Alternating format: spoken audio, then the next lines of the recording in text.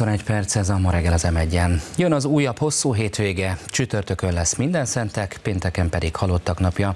A következő napokban rengetegen keresik majd fel a temetőket, és a szeretteikre emlékeznek azokra, akik már nincsenek itt. Monostori László, Esperes plébániai kormányzó. Jó napot kívánok! Jó napot kívánok! Nézzünk már a minden szentek ünnepköre mögé, ugye? Festum omnium sanctorum, ahogy latinul mondjuk, de honnan is ered ez? Ez az ünnep, hiszen harmadik Gergely pápa az én tudomásom szerint már az ő idejében említést tettek róla, de hivatalos ünnepé jóval később várt. Így van, sőt itt rögtön különbséget is tehetünk meg keleten, már egészen a negyedik század óta létezik egyfajta ünneplése az összes szentnek, még nyugaton ez igaziból a 7. század elején, 609-ben kezdődött, amikor még negyedik Bonifác pápa átvette a római Panteont, aki járt már Rómában, biztos emlékszik a gyönyörű Panteonra, ugyanis az eredetileg egy pogány templom volt, ahol az összes istenséget tisztelték. És amikor ez a templom keresztényé lett, akkor támad Bonifác pápának egy ötlete, hogy akkor szenteljük ezt a templomot Szűz Mária és az összes vértanú tiszteletére. Tehát ez volt tulajdonképpen a világ első minden szentek temploma, ahol te, ahogy, hogyha tetszik, és ezt követte aztán valóban Gergely pápa később, aki a Szentpéter bazilikában is egy kápolnát alapított minden szentek tiszteletére, hogy legyen egy ünnep az évben, amikor mindazokat ünnepeljük, akik a mennyországban vannak. Tehát azokat a szenteket is, akiket mondjuk nem biztos, hogy nevesítünk. Pontosan. Tehát az egyház jó pár emberről kimondja, hogy ők boldogok vagy szentek, akik kanonizáltak, de van egy csomó ember, akiről hát nagyon reméljük, meg hiszük, hogy a Jóisten irgalmából ők is a mennyországba kerültek, és ők is tudnak közben járni értünk. És én itt tenném a különbséget, meg az átkötést a halottak napja felé, amely nagyon érdekes, mert első ránézésre ugye látjuk november 1 minden szentek, november második a halottak napja. Látszólag elsőre ez két teljesen különböző ünnep. Most hogy jön össze a kettő?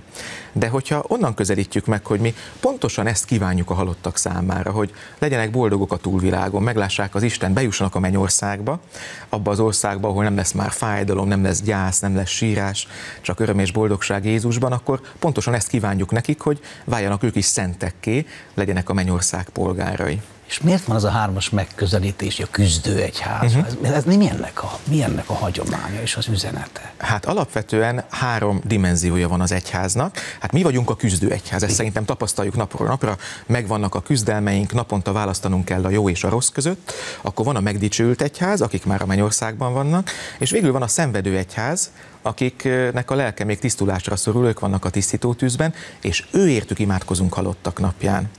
Ugyanis az emberi élet itt a Földön véges.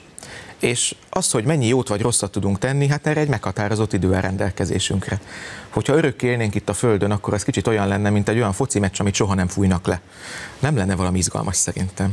Biztos nehéz lenne riporterként is ezzel kapcsolatban tudósítani, hogy az egyik csapat vezet egy millió núra, de semmi baj, hát még végtelen sok időnk van. Na, viccet félretéve.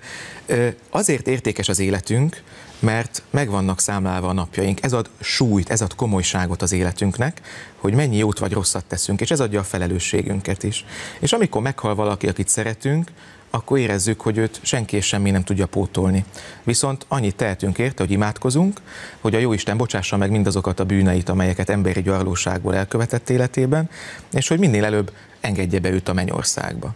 És a halottak napja, az minket, a, küzdő, a küzdőket is figyelmeztet, hogy nem mindegy, hogy hogyan, hogyan élünk. Tehát amíg fiatal valaki, lehet, hogy nem gondol rá, de azért egy nagy igazság, hogy előbb-utóbb mindannyian meghalunk, és ez adja a felelősségünket, ez adja azt, a, azt az óriási ajándékot, amit időnek nevezünk, hogy ajándékba kaptuk ezt az időt, ezeket az éveket, évtizedeket itt a Földön, és hogy nem mindegy, hogy hogyan élünk.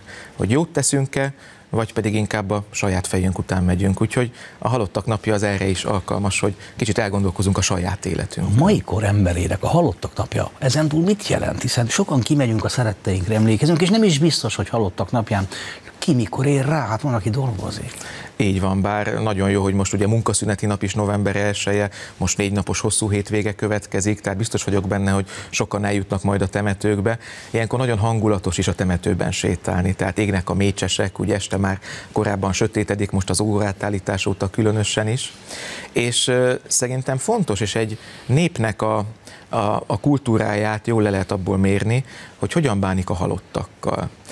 Én úgy gondolom, hogy ha valaki nem törődik azzal, hogy mit tettek az ősei, hogyha feledésbe merül a történelem, hogyha nem tiszteljük azokat, akik előttünk letettek valamit az asztalra, akkor annak a népnek nincsen jövője. Úgyhogy fontos, hogy emlékezzünk, fontos, hogy ne felejtsünk, és az is fontos, hogy imádkozzunk értük. Mi érdekes, hadd kapcsolódjak ehhez. Néhány évvel ezelőtt a Debreceni temetőben így halottak napján egy fiatal hölgyet láttam, egy édesanyát, aki a három éves forma kisfiát kézenfogva vitte, és már sötétedett. És a mögéjük értem, és mondja a kisfiú, hogy mennyi szép fény van itt, ahogy ön is említette, azt mondja, mennyi idős ember fekszik itt, csupa öreg népek. És erre mondta az anyuka, hogy nem kisfiam, itt fiatalok is fekszenek, a szeretteink fekszenek itt. Így van, úgyhogy azt hiszem, hogy tényleg a szeretet az nagyobb annál, mint hogy a földi életnek a vége, ahol az, elválaszthasson minket. És gyönyörű szimbólum, amit most a katolikus templomokban láthatunk majd minden szentek kapcsán, a fény. Minden szentek estéjén van egy úgynevezett lucernárium, egy fényünnepség, amikor meggyújtjuk a húsvéti gyertyát, énekek, imádságok kíséretében. És a húsvéti gyertya azt jelképezi, hogy a világosság erősebb a sötétségnél, hogy az élet legyőzi a halált, mert Jézus föltámadt, hogy a jó legyőzi a rosszat, és hogy nem a halálé, hanem az életé az utolsó szó, és hogyha hiszünk Jézusban, akkor mi is fel fogunk támadni, és reményeink szerint viszont láthatjuk a mennyországban mindazokat, akiket szeretünk, akik fontosak nekünk, és ez a legnagyobb reményünk. Nagyon-nagyon szépen köszönöm. Köszönöm.